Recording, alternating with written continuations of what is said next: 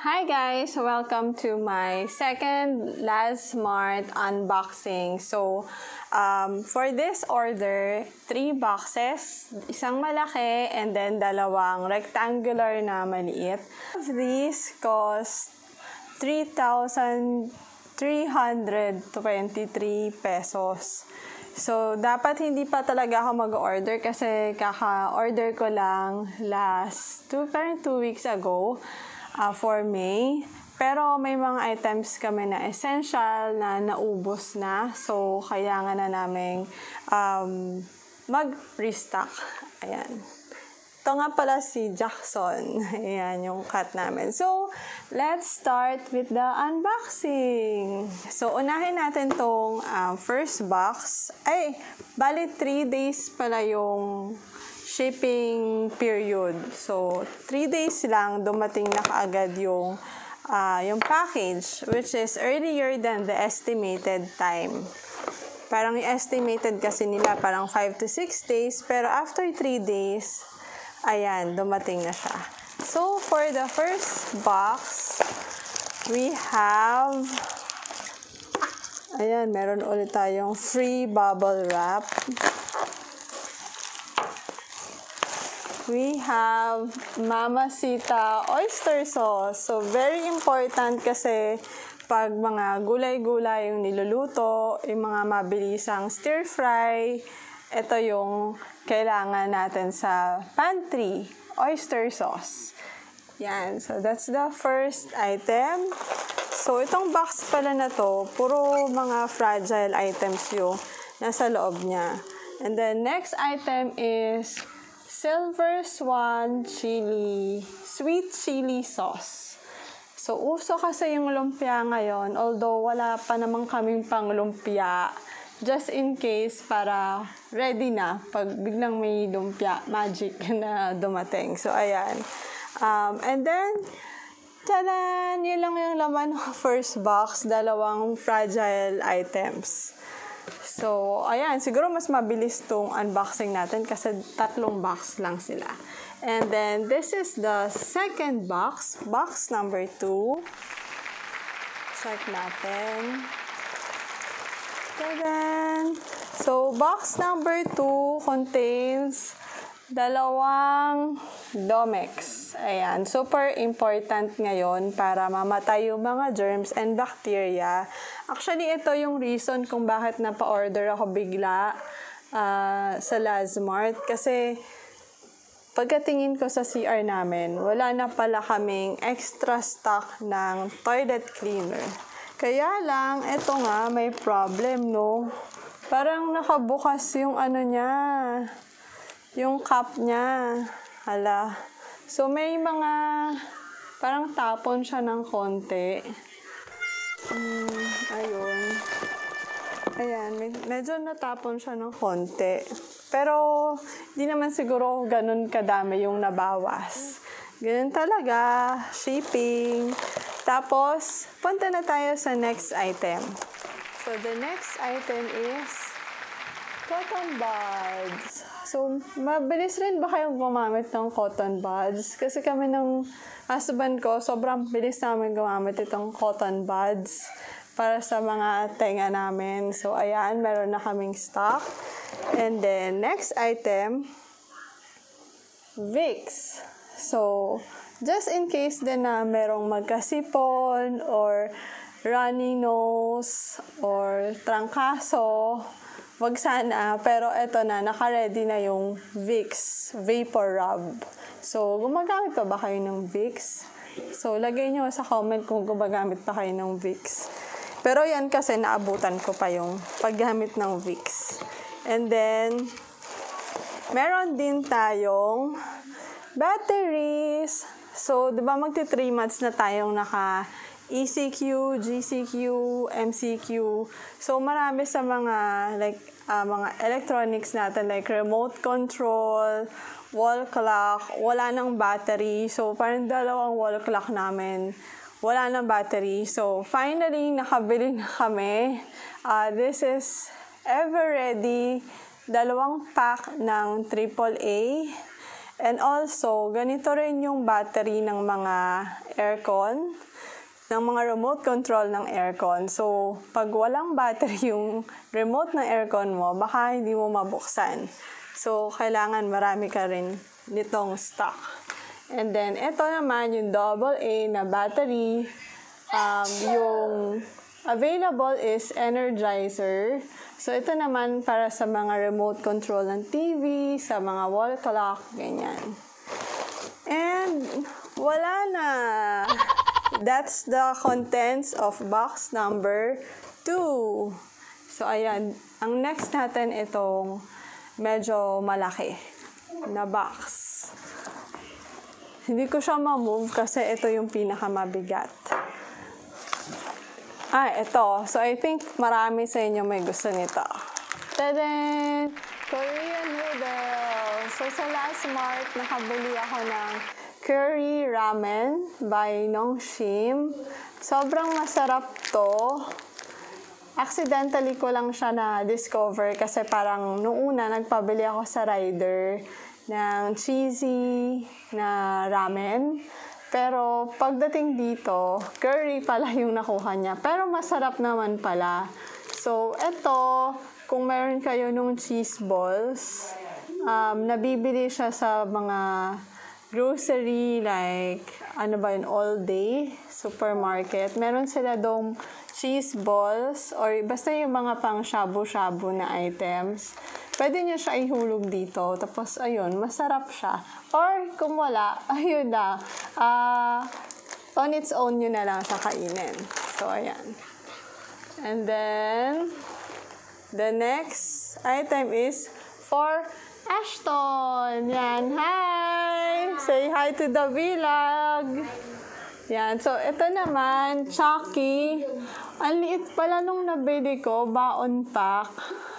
Kasi parang may mas malaki nito eh. Ito ang liit. Pero 6 uh, six pieces siya na Chucky. So, anong sabi dito? Baon Savers Pack, 110 ml isa. Tapos, meron na rin siyang straw. So, ayan. Chucky. Kung nami-miss nyo na yung Chucky, meron sa Lazmart.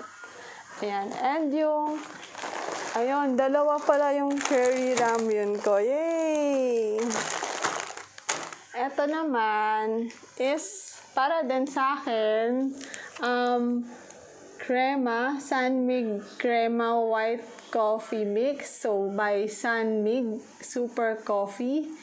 Um, ito naman, parang nakita ko siya sa isang vlog na parang na-mention doon na lasa niya yung Tim Hortons, parang ganon. Although hindi pa naman ako nakapunta sa Tim Hortons, gusto ko rin siya itry kung masarap ba. Kasi ngayong quarantine, ako lang yung nagtitimpla ng coffee ko. So, hindi 3 in 1. So, na-miss ko na yung ibang lasa ng coffee kasi medyo nakakasawa na din. So, try ako nitong ibang flavor para masaya. And then, ay, tadan!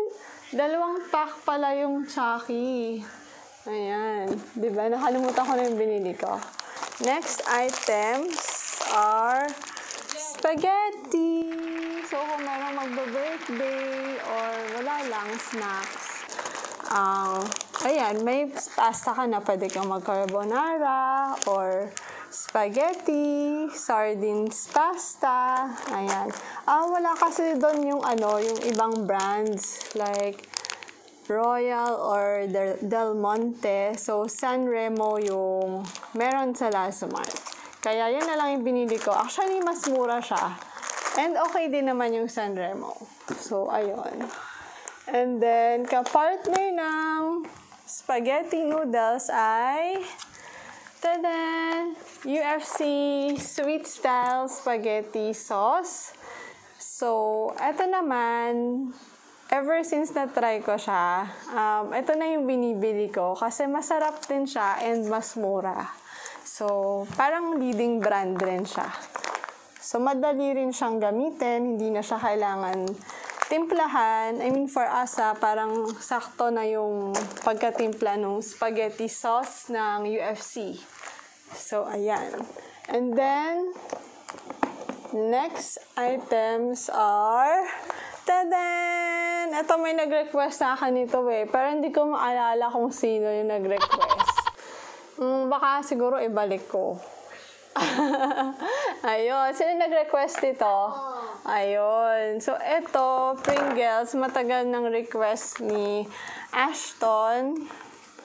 Ayan.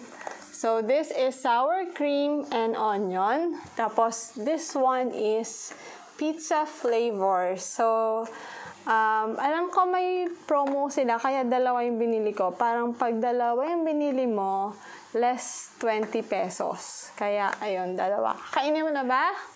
Ba? Hindi pa save. O yan, save niya for, save the best for last. And, meron ding, tadan! Fruit Loops. Ayan, baligtad pala. Kellogg's Fruit Loops. So, matagal na rin kasing hindi nakakain ng cereals yung anak ko. Kaya, itindit ko siya nitong Fruit Loops. Ayan, mura lang naman to. Parang less than 100 pesos. And, ayun. Sana magustuhan niya and maubos niya. Kaya gantong size lang yung binili ko. Kasi minsan nakaka nakakasawa ka agad yung cereals pag malalaking pack. Lalo na pag yung mga bata, gusto nila iba-iba yung lasa. So, ayan. And then, bumili ulit ako ng mayonnaise kasi since nung last uh, unboxing ko, nakagawa na ako ng mga tuna sandwich and nagamit ko na yung best best foods na na mayonnaise. And okay naman siya. Uh, mas mura yung best foods. Pero this time, sila naman yung out of stock. And yung may stock naman sa Last Mart is Ladies' Choice. So, balik Ladies' Choice ulit tayo. Yan. Dalawang mayonnaise. And then, ito is another treat. So, nare-realize ko na na medyo puro treats yung haul ko, yung grocery ko for this week. Ito namang quadratini. Favorite nyo rin ba yan? Ang tagal ko nang naghanap nito um, sa supermarkets. Parang nung unang papabili ako sa mga rider. Um, out of stock to. Pati yung QB. Pero ngayon, meron sa Lazmart. Tapos akala ko nga malaki eh, pero maliit lang pala. But it's okay, at least matitikman ko. So, quadratini na chocolate wafer na bite size. So, masarap to. Yan. And, isa pang spaghetti sauce. And, tadan! Ito yung minsan laging wala. Um, Pascual Creamy Delight Yogurt. So, nakakamiss na rin kumain ng yogurt. So, habang may stock sa Lazmart, bumili na ako ng dalawang pack. Bali, isang pack, 4 pieces. Ayan, 4 pieces siya. Ang flavor nito ay strawberry. So, minsan meron sa mga Facebook groups, pero may dagdag na, like mas mahal. Kasi nga, parang rare tong Creamy Delight ngayon.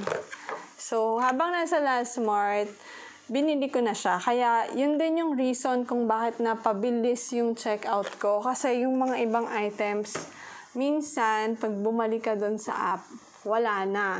So, medyo na-panic ako and na-check out ko na silang lahat. Ayan nga, medyo naparami yung treats natin.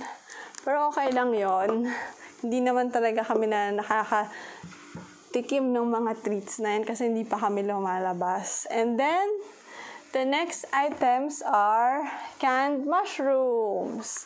So, nagamit ko na rin yung um, canned mushrooms from last haul. So, this time, dalawang cans na yung binili ko. Um, okay rin siya kasi inagay sa pasta or pamparami ng ingredients ng ulam.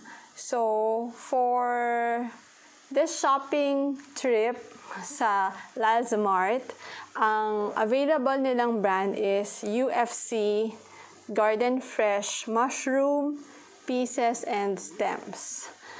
So, ayan. And then, we also have corned beef.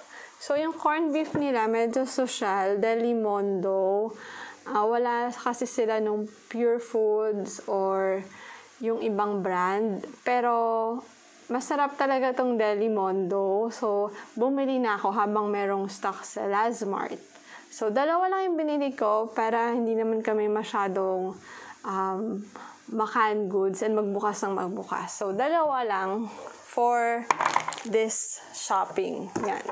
And then, last natin na items are whew, fresh milk. Yan. So, ayun, walang Nestle fresh milk ah, nung huling shopping shopping activity ko sa Last Mart. Ang meron lang sila is itong Devondale na full cream milk. Yan. So, dalawa na yung binili ko para lang may stock si Ashton. Yan. Pero may Nestle pa kami. Pero ayun, habang may stock sa Lazmart, chinek out ko na yung mga items. So, lahat ng items na to is worth 3,323. So, ayan, tatlong box siya. May libreng box. So, ang masasabi ko lang for this haul is parang maganda kasi iba-iba yung items and na-miss ko na yung mga ibang snacks dito. So, parang dumadami na ng konti yung mga options sa mga online shopping apps. Maybe because uh, yung ibang yung ibang businesses are starting to open up again. So, ayan. Lalo na tong Pringles. Na-miss ko to. Itong Quadratini.